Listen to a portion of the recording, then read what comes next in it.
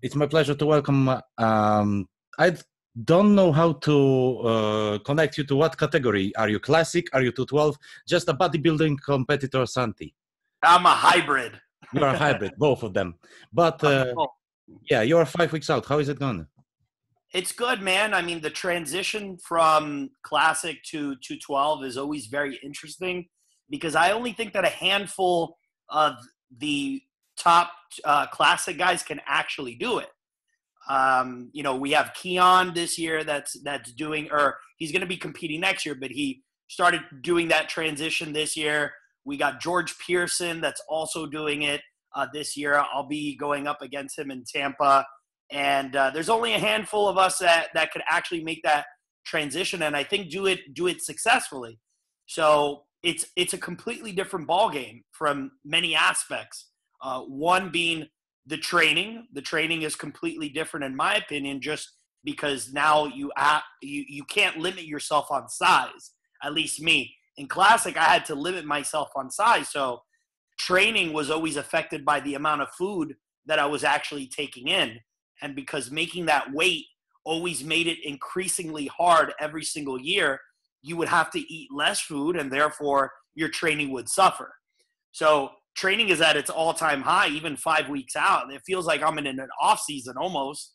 And um, you know, food as well. Food, the amount of food that I'm eating right now, five weeks out, it's it's actually pretty pretty scary because I've never been in this territory before where I'm eating so much goddamn food um, I'm not complaining, but it, it's it's definitely you know it, it's a little bit if you're so used to not eating to get ready for a show, and then now you're eating almost like the amount of calories that you would do at the highest point of your off season, and you're five weeks out. It's it's a little strange. Um, and then obviously, I don't know if you if you touch on on um, on you know supplements here on your on your page. Yeah, I do, I do, I do. You can yeah, but but the the supplement protocols are are much different in 212 versus classic. You know, I was always very open on my social media about the the gear that I use, just to mostly to educate people because uh, especially guys that are you know 30 and under. That's usually what my demographic is of my following um, I didn't really have the opportunity to get to get a lot of information when I first started, just because the internet wasn't very vast. Uh, pros were inaccessible, and and you kind of had to figure things out yourself. So now with social media, you know, there you have a select few pros that are willing to tell you what they do, and it just should open up the eyes to amateurs and people that are first starting to be like, I don't really have to take that much. It's really you really have to concentrate on your training. You really have to concentrate on sleep and your diet. And then everything else, once you have those in play, you know, the, the gear really helps. But if you don't have those basic building blocks, I don't care how much gear you take. I mean, you would know that when you hear some of these people at the gym, some of the gear protocols that they're taking, you're like, dude, you're taking triple the amount of me, and I, and you look nowhere near like what you should be at that amount. And it all comes down to the diet and and the training. So, uh, um, you know, the the 212 protocol that I'm doing right now, it's it's it's not vastly different, but obviously, like the gear the gear is is a little bit more than what I would usually take for classic. Yeah, as, as I was following you, you used to stop the testosterone, for example, for uh, like five weeks out and so on. Yeah, like right, like my update this week, we pulled testosterone already. Oh, already. We completely pulled it out. It's just that I've it, this is, doesn't work for everybody, but I've already worked with uh, my coach Andrew Vu for so long that he knows already like what happens when we do this and how long can we get away with doing something or pulling it out, etc. So it wouldn't be something that I would maybe put one of my clients through just because it's so drastic, you know, to pull it out completely. But since we've done it so many times already, he knows exact like we we know what to expect. When speaking about the people that are transitioning, let's first start with something positive. Uh, yeah. good guy from Poland. I know that you conversed with him, uh, Piotr Borecki. He's as mm-hmm. well uh, trans, uh, transferring to the 212. Do you think that's a good idea for him? I think so. I think I think that I think most classic guys once they hit a cap on the weight, then it's you lose that love for bodybuilding in general because bodybuilding the essence is trying to trying to improve a little bit every single year and every time that you're on stage. And once you hit that max weight there's not really anything else you can do.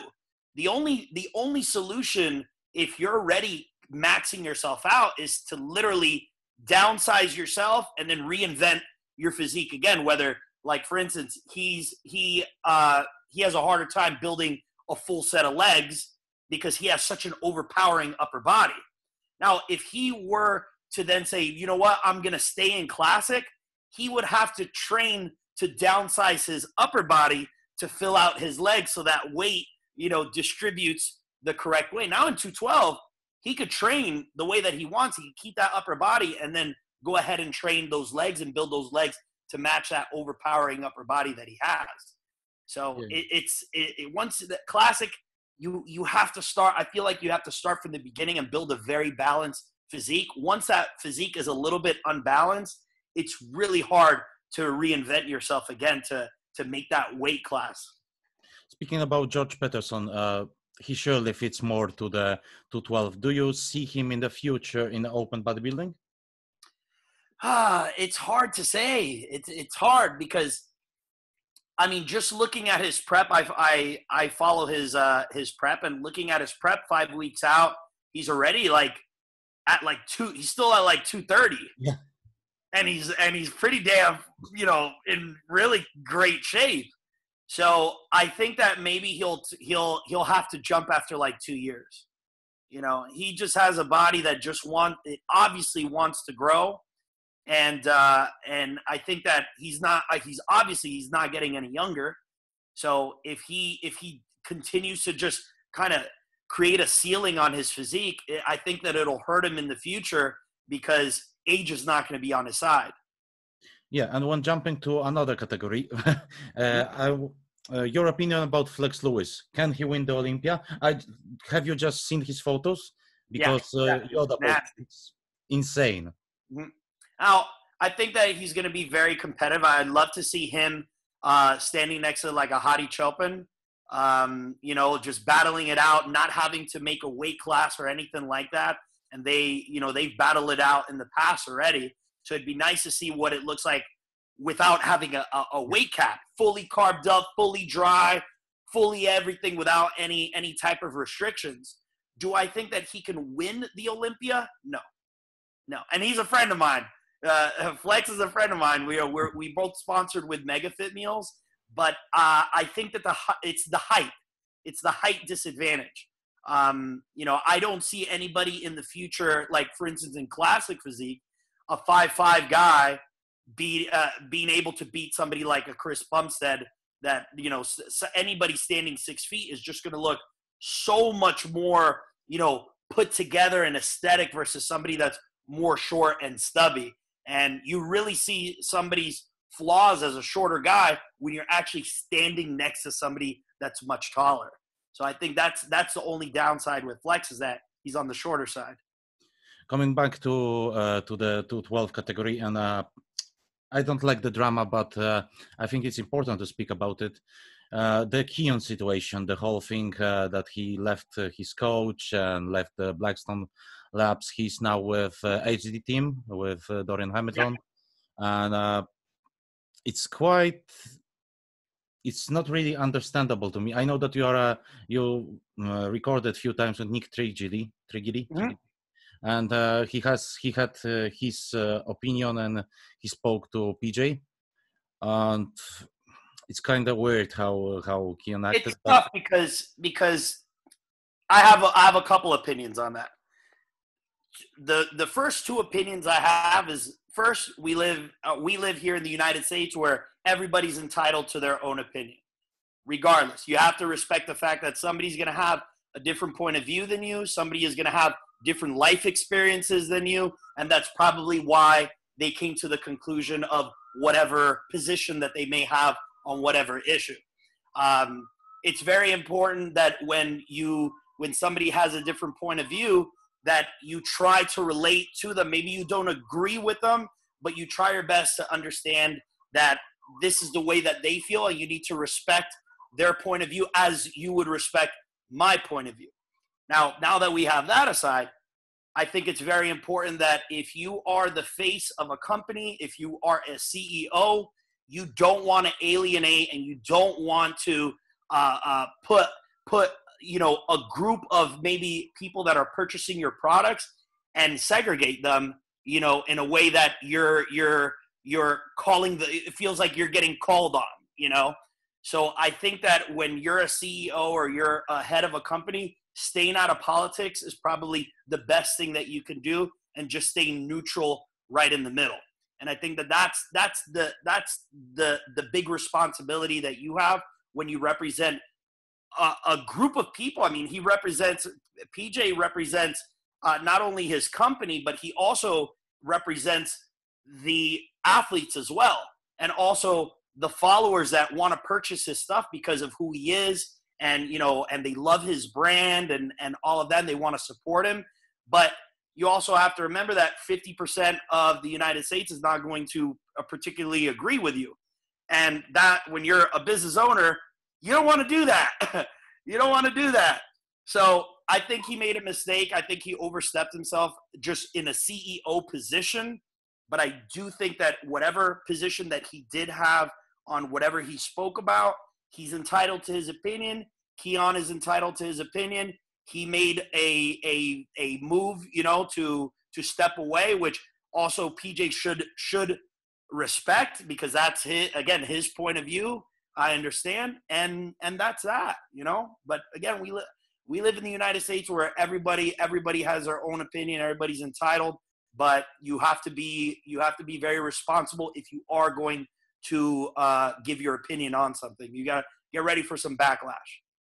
Uh, jumping a little bit uh, forward uh, away from the bodybuilding, but not really away, but staying with the within the industry and CEOs and so on. You are uh, you have the Paragon the waist trainer. Yes. I want to ask you, how do they work? Do they work? I, I mean, of course, if they wouldn't, you wouldn't. Uh, I wouldn't tell you. Just wouldn't uh, promote them. But uh, how do they work? How often do we should we wear it, and when should we wear it? Now, I don't like when it comes to niche products like this. I I don't like to make any claims. I I allow the customers to make the choice of purchasing it, and then their testimonials are the ones that are going to drive the product. And I've only gotten because I used uh, before I created this brand, I used to wear just the Amazon waist trainer. I used to wear girl waist trainers. And I noticed that two things, at least for me, this is me speaking from experience for, for me for my, uh, wearing the waist trainers before I created my brand, was that I have very overpowering obliques to begin with. So taking them out of the equation on any type of movements that were heavy was essential and that's what that's what I believe worked for me to help keep my keep my waist down. Now, that's looking at me from the front so that my obliques didn't start bulging out. So for me that's what worked. The second thing that worked for me is it helped me really control my breathing. It helped me keep keep my mind thinking about that I needed to start breathing more with my chest rather than my stomach. And me eating so much food, you know, all these bodybuilders are eating so much food, you see their gut hanging out and then that's just that's just you just forget you, that's just a normal thing that you do the waist trainer keeps you so tight in your core that now you're forcing your body now to chest breathe which essentially now when i'm gassed out on stage or at the gym now i'm i'm now i'm trained to to uh, breathe with my chest rather than my stomach and that's like one of the first things that that people when they're when they're tired on stage that's what happens the, set, the, the last thing that it's helped me is my posture. I have absolutely terrible, horrible posture. And the first thing that I would do when I would get on the uh, on the stairmaster is I'd slouch over and hold the railings. That's the first thing most people do. Now the waist trainer forces you to stay upright. Again, now you're breathing with your chest. So it really makes it really makes the cardio session that much more difficult when you're having all these you know, uh, I mean, I would think that they're all positive, but it makes it a lot more challenging. Um, as far as how much I wear it, I don't do the whole thing that these girls wear them like for 24 hours. They wear their waist trainer and stuff like that. I wear mine during cardio, and I wear mine during training. Those are the only two times. So a total, maybe two hours a day. So do you train with a belt as well, or only the waist trainer? I do. I train. I train with the waist trainer, but on like let's say like today, I, I was pulling the five plates on rack deads.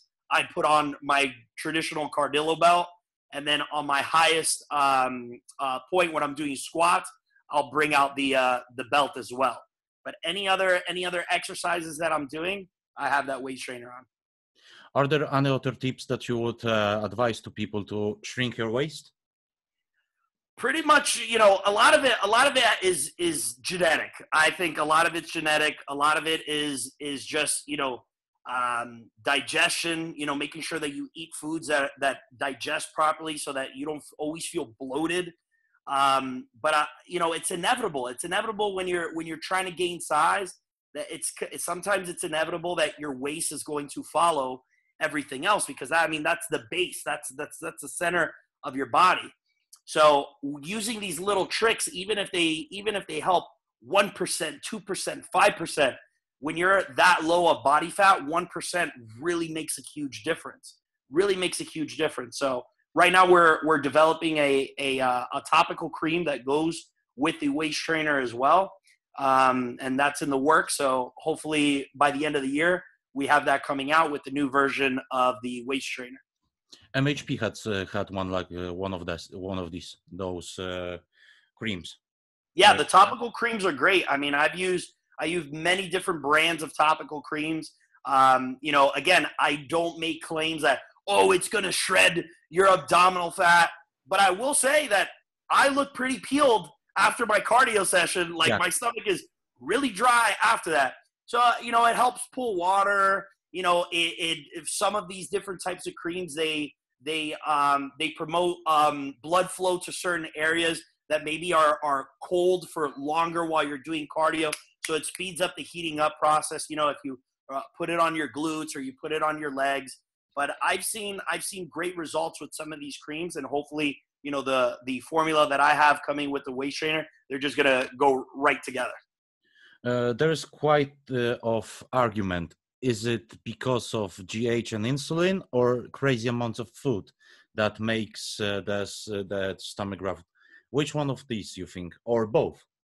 I think I think it's a combination, but I really do believe mostly it's it's the food it's the food. I mean, um, like I'll get I'll give you an example. Like if just out of common sense, when I compete in in uh, classic and I'm eating less food, my waist is much smaller than uh, measured wise than what it is if I do 212, and it just makes perfect sense. One is obviously I'm going to weigh more because I'm eating more, but then the, just the amount of food. I mean, it's inevitable that that you're going to have some type of uh, some type of distension or, or something just with the amount of food. That's why I always say that it's always very important that that you you you find foods that work well for you. So you know when people talk about oh if it fits your macros and blah blah blah, blah all this stuff, I'm like no no no, forget about if it fits your macros. Does it fit you? Okay, so if I put on your plan, you know, uh, I want you to eat 60 grams of carbs coming from this carb source and you experiment experiment with it and you notice that man it's not settling in my stomach correctly i'm not digesting it the way that i want start looking for something else that fits close to those macronutrients that, that those carbohydrates are and replace it with something else that works for you.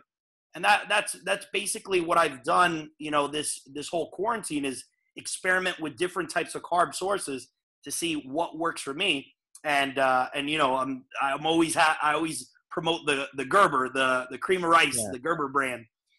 That right there, I did a video the other day, and I'm eating 90 grams of carbs pre and post workout coming from the Gerber. If I were to eat 90 grams of carbs coming from rice or potatoes or anything like that, I'd be in, probably in a food coma on the couch. I wouldn't be able to train. You know, for me that would be that would be a lot.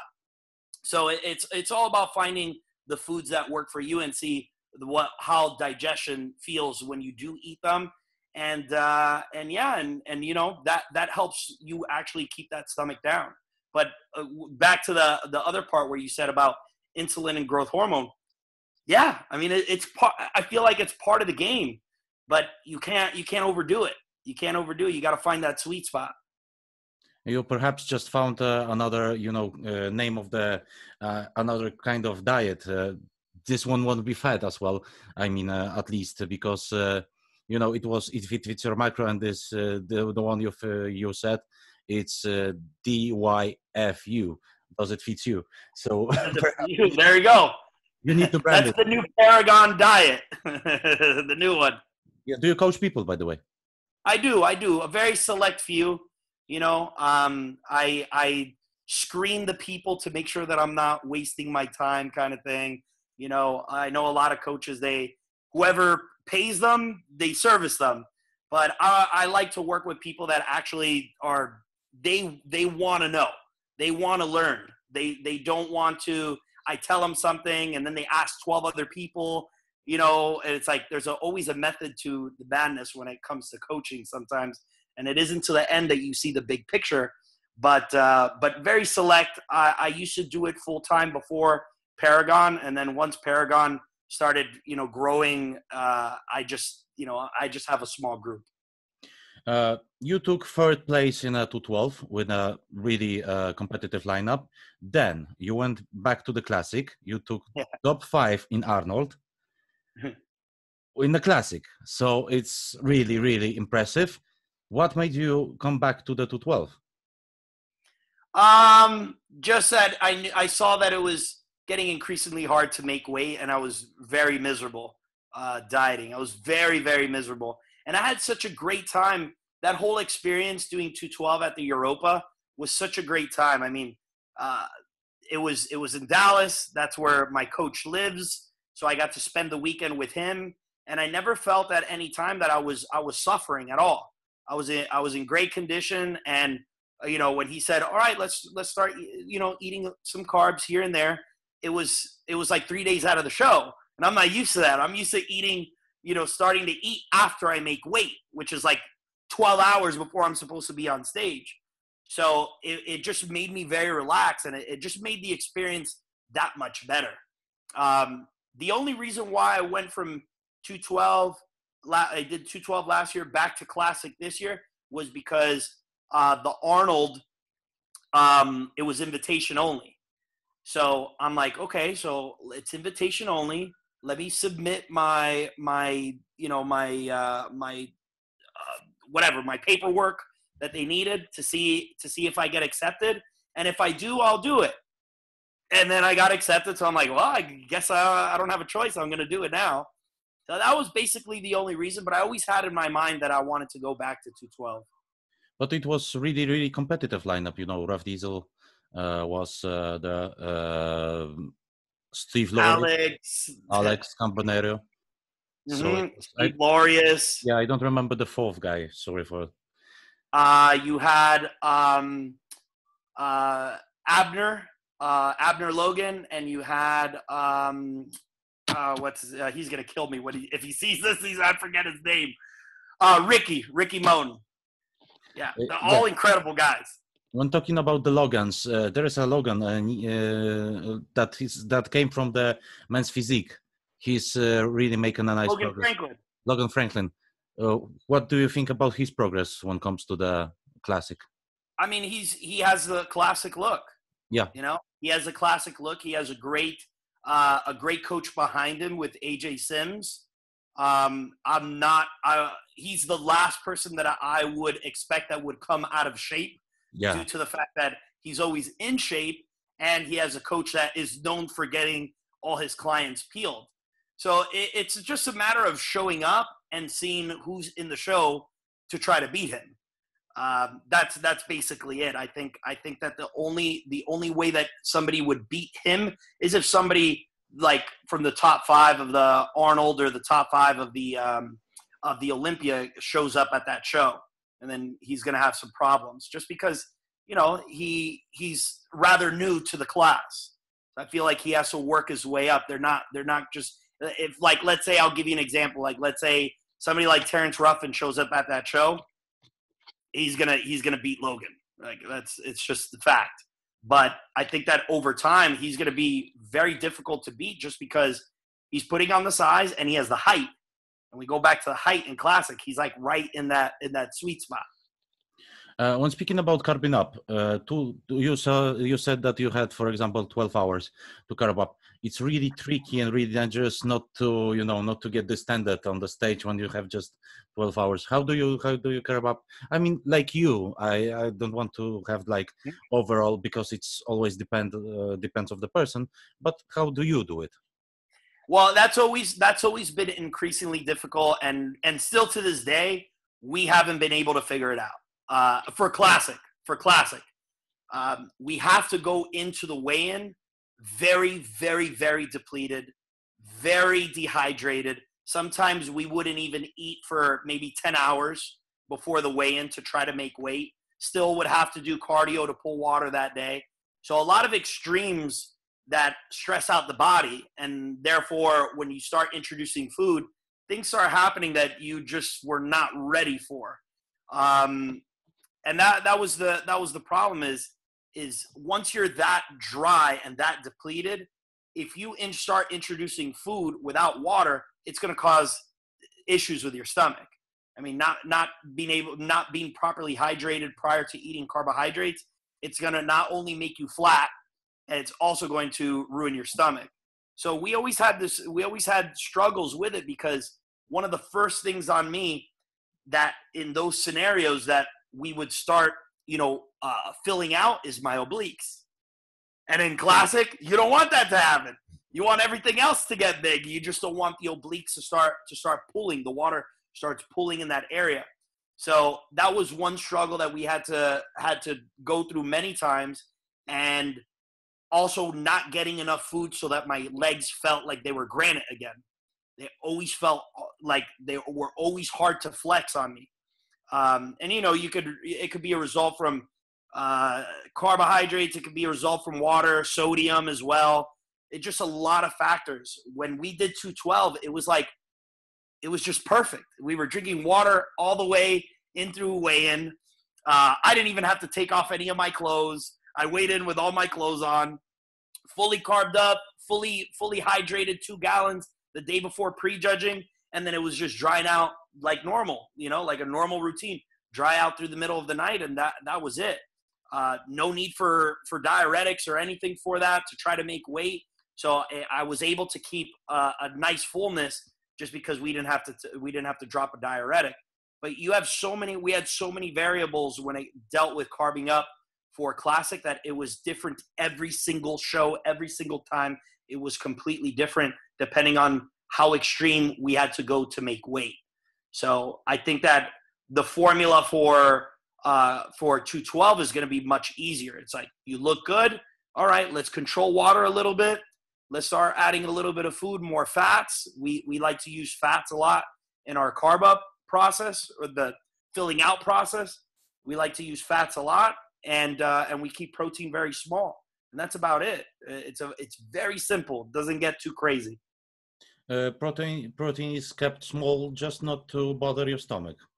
Yeah so what we do is is instead of adding like some people like to do add the peanut butter and stuff uh, you know we we just get the fats from the protein. So instead of adding more food in there we'll just say okay uh, let's do four ounces of steak.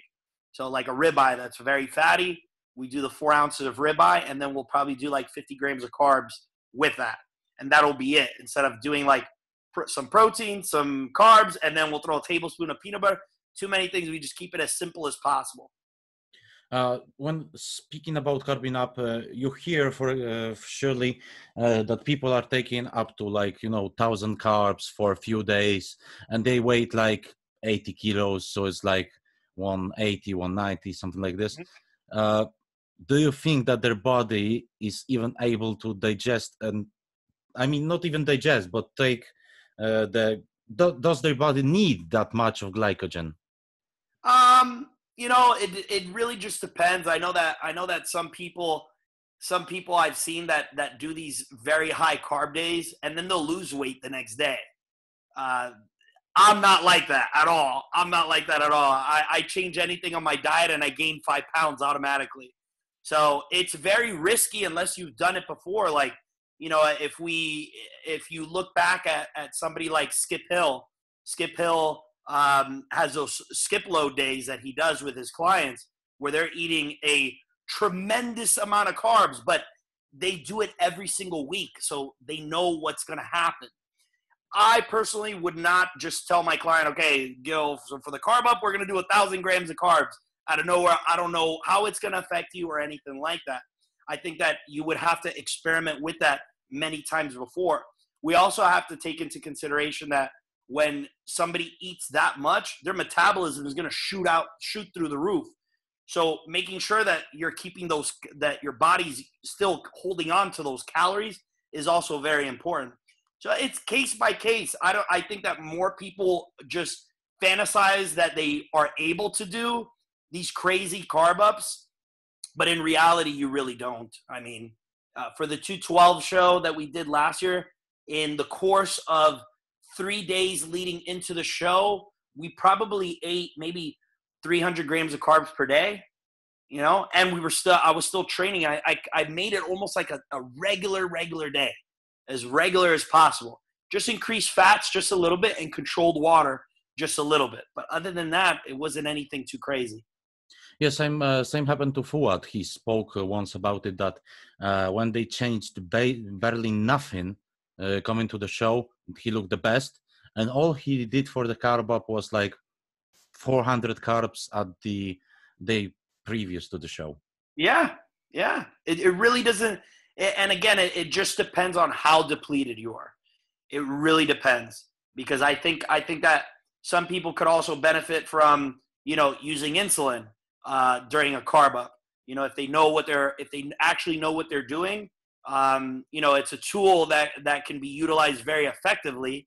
Um, but it's something that you have to have practice before. It's just something that you just cannot just show up all the work that you've done 16 weeks, 20 weeks, and then you're going to ruin it by experimenting the last day of the leading into a show. This is something that you have to test throughout the prep to make sure that you know what you're doing.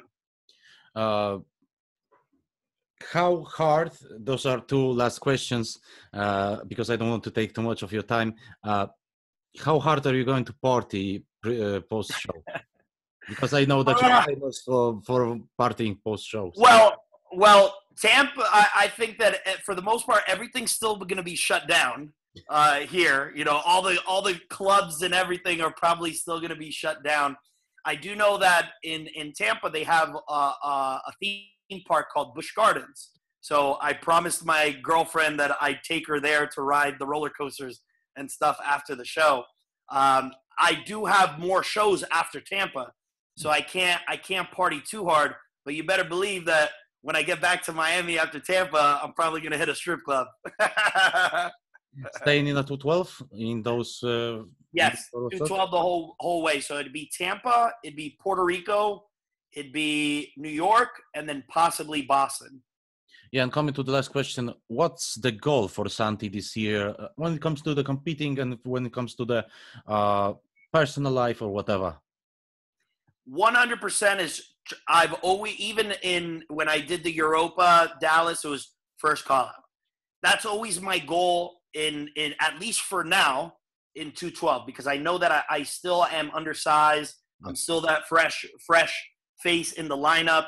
So I think that just going in saying, hey, it's a win for me if I can get first call out, I'm super happy with that. And wherever, you know, things fall is a bonus after that. Um, that would be realistic. That would be a realistic uh, goal to try to achieve going into each show. Um, as far as in the future, I mean, I'd love to qualify for the Olympia at some point so I can retire. I already was able to do the Arnold, and I think the Olympia, you know, within the next five years, at least qualify once for the Olympia. I think that that that for me, I I'll feel like I I've I'm, I'm happy with with my bodybuilding career. Um, as far as business goes this year, I mean, I have the version four of the waist trainer coming out, and then we also spoke about the cream. So hopefully by the Olympia time, which is in December now, we're able to release this to the public. Yeah, so down there, I'm going to link uh, all of your social media and uh, site because you've got the site for the waist trainer and so on. And thank you very much for your time. and for having a really nice conversation. Thank you. Thank you for having me. Peace, everybody. Have a good one.